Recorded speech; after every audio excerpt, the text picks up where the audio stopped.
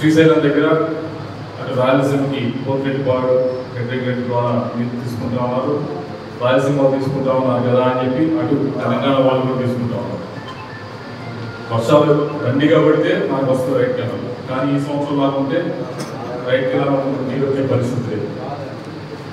నీరు వచ్చే పరిస్థితి ఈ సంవత్సరం చూశాను మొత్తం ఒక ఒక వారం రోజులు ఇవ్వడం ఒక ఆపే పరిస్థితి వచ్చింది. ఎందుకంటే వర్షాలు లేకపోవడం అటువంటి పరిస్థితి ఉండకూడదు అంటే రైట్ కెనాల్స్ స్థిరీకరణ చేయాలి అంటే ఏదైతే గోదావరి జిల్లాలో ఉన్నాయో అది తీసుకొచ్చి రైట్ కెనాల్ పోయాల్సిన అవసరం. ఉంది ఇప్పటికే కేంద్ర ప్రభుత్వం దానిపైన గోదావరి కన్నా నదుల అనుసంధానం గురించి ఇప్పటికే బడ్జెట్లో ఇయర్ బడ్జెట్ కదా ముందు లాస్ట్ ఇయర్ బడ్జెట్లోనే చెప్పడం జరిగింది మేము దానికి చేస్తామని చెప్పి. దాన్ని సాధించుకోవాల్సిన అవసరం.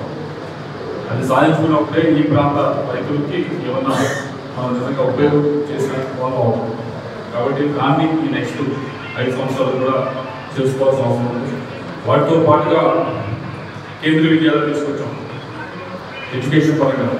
మామూలుగా ప్రతి పార్లమెంట్కి ఒకటో రెండు ఉంటాయి. మన పార్లమెంట్ నాలుగు కేంద్రీయ విద్యాలయాలు నాలుగు కేంద్రీయ విద్యాలయం ఉంటాయి. మన పార్లమెంట్ కేంద్రీయ విద్యాలయం కదా. ఆ స్థాయిలో ప్రతి సంవత్సరం కూడా ఏప్రిల్ మేలో నాయకు వస్తారు అప్లికేషన్ మా కేంద్రం చేసి వాళ్ళకి వాళ్ళు అలా కాకుండా ఇవన్నీ రిక్వెస్ట్ రిక్వెస్ట్ అన్ని పెట్టిన తర్వాత కేంద్ర ప్రభుత్వం కొత్త స్కీమ్ వచ్చింది. పిఎం శ్రీ స్కూల్స్ అని చెప్పి తీసుకురావడం జరిగింది. నా నెక్స్ట్ టార్గెట్ ఐదు సంవత్సరాలు. ప్రతి మండలంలో కూడా ఆ పిఎం శ్రీ స్కూల్ ఒకటి సాధించాలి స్థాపించాలి. స్థాపించాలి అనేది మన టార్గెట్గా పెట్టుకోవడం జరుగుతుంది.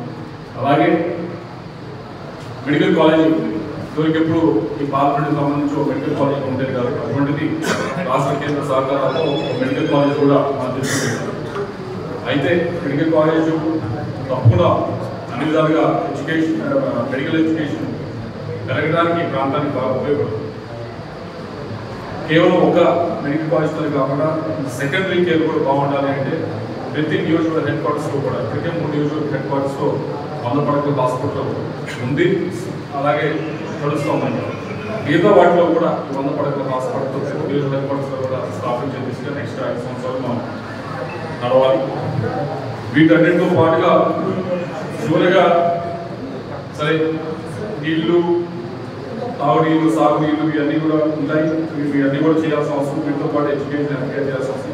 వీటన్నిటితో పాటు ముఖ్యంగా ఇక్కడ ఉన్న యువతకి ఉద్యోగాలు కొత్తగా తీసుకోవాల్సిన అవసరం ఉంది ఇక్కడ చదువుకొని ఇక్కడికి వినకుండా కొన్ని ప్రాంతాలకు వెళ్తే నలభై నలభై ఐదు సంవత్సరాల కింద వాళ్ళు కనిపించే పరిస్థితి లేదు. అందరూ కూడా వేరే టౌన్లకి వేరే సిటీలకు వలస కార్యక్రమం ఉంది. కాబట్టి ఇక్కడే ఒక టెక్స్టైల్కి సంబంధించి కానీ లేకపోతే లేకపోతే కనీసం స్పైసెస్ అంటే మిర్చికి సంబంధించి కానీ ఒక ఎస్సీజెడ్ ఈ ప్రాంతంలో ఏర్పాటు చేస్తే కనుక ఇక్కడ ఉన్న యువతకే ఉపాధి అవకాశాలు కల్పించడం అలాగే ఇక్కడున్న ఇలాంటి కొత్త కొరకు కూడా ఇలాంటి బిజినెస్ పీపుల్ కూడా మరింతగా బిజినెస్ పెరిగే అవకాశం కూడా ఉంది. Bharat number one studio channel యాజమాన్యానికి పాత్రికే మిత్రులకు ప్రతి ఒక్కరికి కూడా అభినందనలు. ఈ న్యూస్ ఛానల్ అద్భుతంగా పనిచేయాలని కోరుకుంటా ఉన్నాను. అంతేకాకుండా నీటి నిజాయితీలతో పనిచేయాలని కోరుకుంటా ఉన్నాను. ప్రజల పక్షాన్ని నిలవాలని కోరుకుంటా ఉన్నాను. ప్రజల యొక్క మనోభావాలు తెలిసే విధంగా పనిచేయాలని కోరుకుంటా ఉన్నాను. అవుతుందని చెప్పి పూర్తిగా విశ్వసిస్తూ మరొకసారి భారత్ నెంబర్ వన్ ఛానల్కి అభినందనలు శుభాకాంక్షలు.